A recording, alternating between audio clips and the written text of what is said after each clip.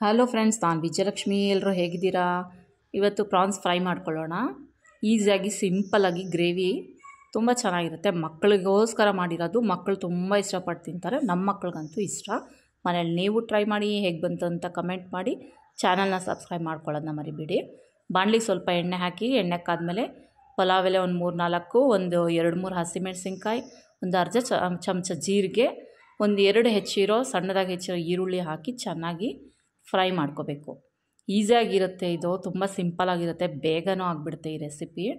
ನೀವು ಟ್ರೈ ಮಾಡಿ, ನಿಮ್ಗೆ ಇಷ್ಟ ಆಗುತ್ತೆ ಅಂದ್ಕೊಂಡಿದ್ದೀನಿ ನಾನು ಸಹ ಫಸ್ಟ್ ಟೈಮ್ ಮಾಡಿರೋದು. ಕೆಲವೊಂದು ಮಿಸ್ಟೇಕ್ಸ್ ಇದೆ, ಅದನ್ನು ಕರೆಕ್ಷನ್ ಮಾಡ್ಕೊಳ್ಳಿ, ನಾನು ಹೇಳ್ತಾ ಹೋಗ್ತೀನಿ. ಧನಿಯಾ ಪುಡಿ, ಖಾರದ ಪುಡಿ, ಅಚ್ಚ ಖಾರದ ಪುಡಿ, ಅರಿಶಿನ ಪುಡಿ ಹಾಕ್ಕೊಂಡು ಚೆನ್ನಾಗಿ ಎಣ್ಣೆಲಿ ಫ್ರೈ ಮಾಡ್ಕೊಳ್ಳಿ. ನಾನು ಸ್ವಲ್ಪ ಜಾಸ್ತಿ ಹಾಕ್ಬಿಟ್ಟಿದ್ದೆ ನೀವು ಸ್ವಲ್ಪ ಕಮ್ಮಿ ಹಾಕ್ಕೊಳ್ಳಿ ನೋಡಿಕೊಂಡು.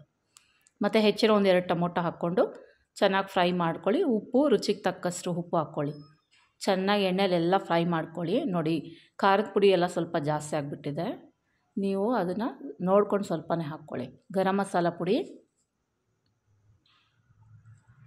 ಈಗ ಎಣ್ಣೆಲೆಲ್ಲ ಚೆನ್ನಾಗಿ ಫ್ರೈ ಆಗಿದೆ. ನಾವು ಆಗಲೇ ಅಲ್ಲಿ ತೊಳೆದಿಟ್ಟಿದ್ದು ಪ್ರಾನ್ಸ್ನ ಹಾಕ್ಕೊಳ್ಳೋಣ ಎಣ್ಣೆಲಿ ಹಾಕಿ ಚೆನ್ನಾಗಿ ಫ್ರೈ ಮಾಡ್ಕೋಬೇಕಿದ್ದು ಸಹ. ಎಷ್ಟು ಈಸಿ ಗೊತ್ತಾಯಿತು ತುಂಬಾ ಈಸಿ, ಬೇಗ ಆಗಿಬಿಡುತ್ತೆ. ಯಾವ ರುಬ್ಬಿ ಮಸಾಲೆ ಎಲ್ಲ ಹಾಕಿ ಶುಂಠಿ ಬೆಳ್ಳುಳ್ಳಿ ಪೇಸ್ಟ್ ಆಗಲಿ ಯಾವ ಥರನೂ ಏನೂ ಇಲ್ಲ. ನಾನು ಆಲ್ರೆಡಿ ಚಾನಲಲ್ಲಿ ಪ್ರಾನ್ಸ್ ಗೀ ರೋಸ್ಟ್ ಹಾಕಿದ್ದೀನಿ, ಸಖತ್ತಾಗಿರುತ್ತೆ ಟೇಸ್ಟು ನೀವು ಟ್ರೈ ಮಾಡಿ. ನೋಡಿ, ಇಲ್ಲಿ ಇನ್ನೊಂದು ಹುಣಸೆ ಹಣ್ಣಿನ ರಸ ಹಾಕ್ಕೋತಾ ಇದ್ದೀನಿ. ಇದು ಆಪ್ಷನಲ್ಲು ಇಷ್ಟ ಇದ್ದರೆ ಮಾತ್ರ ಹಾಕ್ಕೊಳ್ಳಿ. ಸ್ಕಿಪ್ ಮಾಡಿದ್ರೆ ಇನ್ನೂ ಚೆನ್ನಾಗೇ ಇರುತ್ತೆ. ನಾನು ಆಗಲೇ ಹೇಳಿದ್ದೀನಿ, ಕೆಲವೊಂದು ಚೇಂಜಸ್ ಬೇಕಿದ್ರೆ ನೀವು ಮಾಡ್ಕೊಳ್ಳಿ.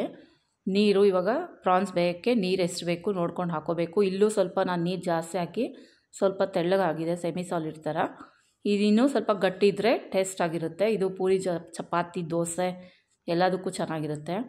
ಅನ್ನಕ್ಕೂ ಚೆನ್ನಾಗಿರುತ್ತೆ. ಮಕ್ಳಿಗಂತೂ ತುಂಬಾ ಇದು ಇಷ್ಟ ಆಗೇ ಆಗುತ್ತೆ. ನೋಡಿ, ಲಾಸ್ಟ್ ಆಗಿದೆ. ಕೊತ್ತಂಬರಿ ಸೊಪ್ಪು ಉದುರಿಸಿ ಹೇಗೆ ಬಂತು ಅಂತ ಟ್ರೈ ಮಾಡಿ ಮನೇಲಿ ಕಮೆಂಟ್ ಮಾಡಿ.